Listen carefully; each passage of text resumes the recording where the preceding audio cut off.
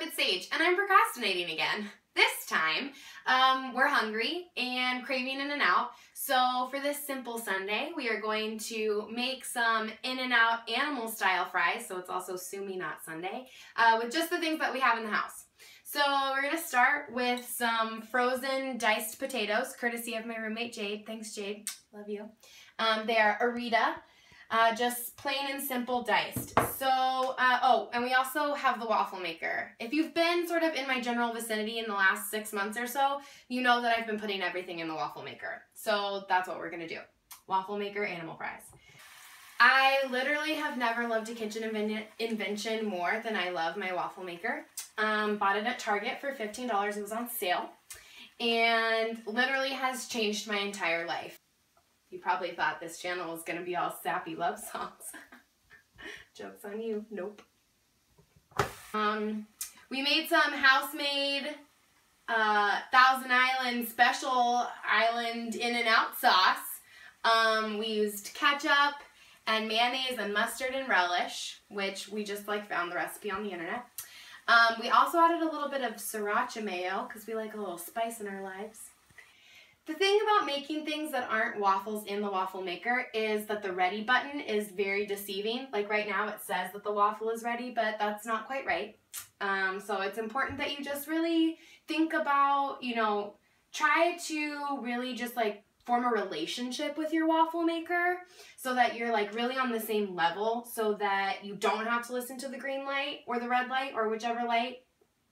Um, and you just are able to sort of you're building this thing together, you know? So it takes some reciprocity of, you know, feelings. You could talk to your waffle maker. Don't get too close. It's really hot.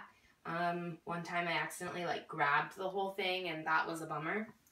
Everybody has a different relationship to cheese. Um, my relationship to cheese is not less is more. Um, in fact, it's quite the opposite of that. It's more like the more cheese you have, the happier you are in your life. But ultimately, I just love cheese, so I'm going to put a bunch of cheese. This is where the relationship with your waffle maker really comes in handy. Um, and you have to sense when the cheese has like fried enough that it's not going to stick to the waffle maker anymore. Um, but it's going to like do the thing that you want. You can hear it bubbling. It's quite nice. The cool thing waffle maker also is like it's really unpredictable. So if you're into like a little bit of chaos, the waffle maker is the cooking implement for you. Because you just really actually never know. Even things I've made like 14 times, on the 15th time, ooh, doesn't work out. It's very steamy. You could like, I don't know if like cheese steam is the best kind of steam for your pores, but I feel like cheese is already coming out of my pores, so and this is where sort of the unpredictability comes in. You never really know what's going to happen. But this cheese is like beautifully fried on top, which is like my jam. So, okay, cheesy potato fries with some sort of sense of waffleness to them. I mean, cheese, good. Potatoes, good. Onions, good. Thousand Island, good. Maybe not the most beautiful thing you've ever eaten, but I bet you it's gonna be freaking delicious. Homemade, in and out, cheesy waffle fries. In and out, don't sue me when everyone starts making these fries instead of coming to eat yours.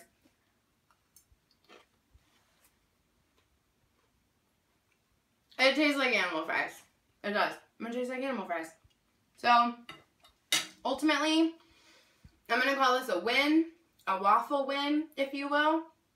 I think this is just going to refuel me right back into working on my thesis, mom and dad. Don't worry. I'm going to get it done. Um, so this is delicious, and I hope you get yourself some In-N-Out fake waffle fries soon enough because I'm going to eat all of these.